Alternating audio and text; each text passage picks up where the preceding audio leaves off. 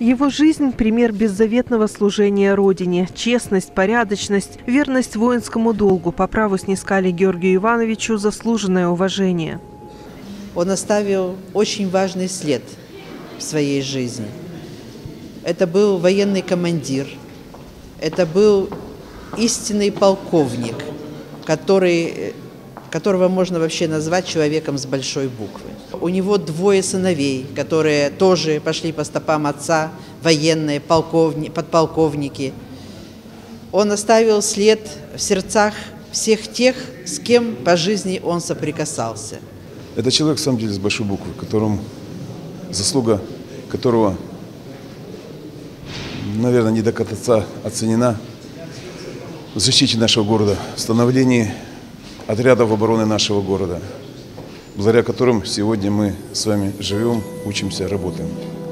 В Бендерах Георгия Егорова знали очень многие. Сам он родом из Ленинграда. В наш город военнослужащего привели дороги службы длиною в три с половиной десятилетия. Как офицер запаса Георгий Егоров не мог оставаться равнодушным, видя нападки кишиневских политиков и националистов на русскоязычное население. В 89-м он приходит в рабочий комитет, формирует мощное народное сопротивление, а огненным летом 92-го возглавляет штаб обороны города. Он, будучи полковником советской армии, взял на себя ответственность по руководству рабочих отрядов и народного ополчения. Не жалея себя, он принимал участие в обороне города Бендеры. Георгий Иванович Егоров относится к тем людям, чья активная работа способствовала становлению нашего государства. И вот я, когда сейчас говорят о первооснователях государства, я могу сказать о том, что это, безусловно, один из тех людей, который входит в эту когорту.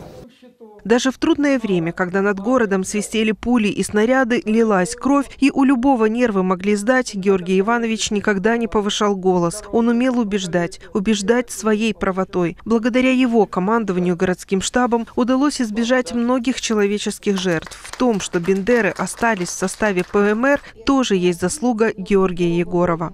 А вообще, вот, знаете, уникальный человек – вот вроде маленький такой, мне все время нравился маленький, как гвоздик такой.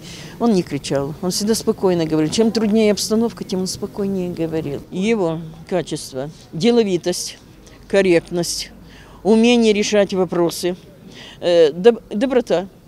Добрейший души человек, так говорят о нем сослуживцы. Даже в чинах и званиях, имея множество наград, он оставался скромным и доступным человеком. Представляете, Едем мы по Копьяру, сейчас открыто уже можно говорить, на рекогносцировку. Песок, солнце, жара. Офицеры едут на открытых бортовых машинах. Пыль, все прочее. Он с нами наверху, он не сидит в кабине, он наверху с нами. Потом, когда мы возвращаемся, командир дивизиона приглашает его к себе на ужин. Он говорит, нет, я ужинаю со своими, со своими офицерами. Ряды ветеранов редеют, с грустью отмечают собравшиеся. Проститься с другом и товарищем, выразить соболезнования родным пришли те, кто знал Георгия Егорова лично, и те, кто не был с ним знаком. Глубокую скорбь выражает каждый.